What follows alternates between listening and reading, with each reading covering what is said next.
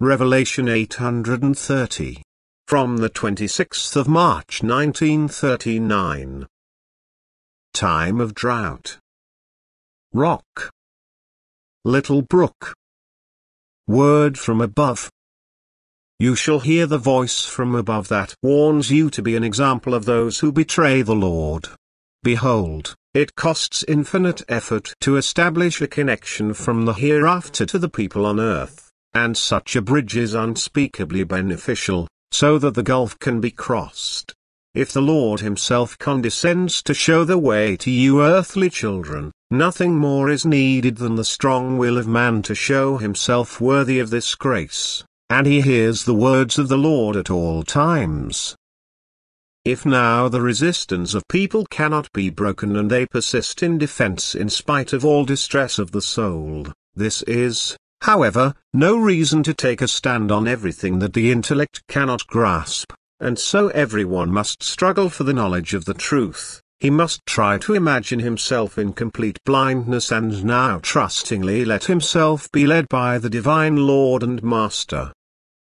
The greatest danger is to want to judge everything according to a scheme. Which spirit can guide man into the truth? But only the Spirit of God.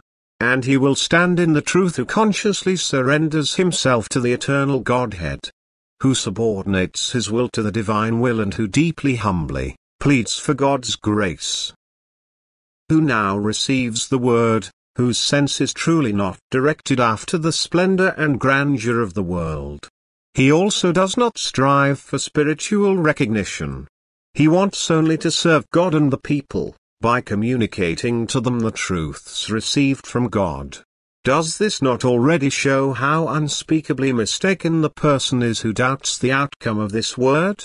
The strict rejection of the divine word, is like a stone in front of the door of the heart because people create an obstacle for themselves by blocking the clear source of knowledge and not paying attention to the strength-giving refreshment.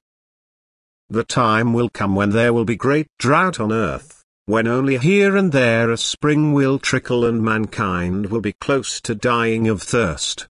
And if the Lord wants to control the nameless misery of this time by letting fresh drink flow out of the rocks and opening little fountains that are to refresh his children with living water, do not waste these springs, but give thanks to the Lord, who wants to save you from misery and distress.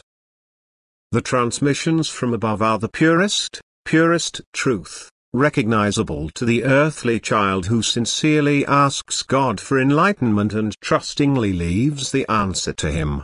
When humans answer their own questions, any error is encouraged and people then lead themselves on the wrong path.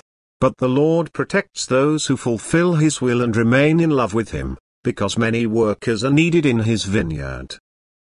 Amen.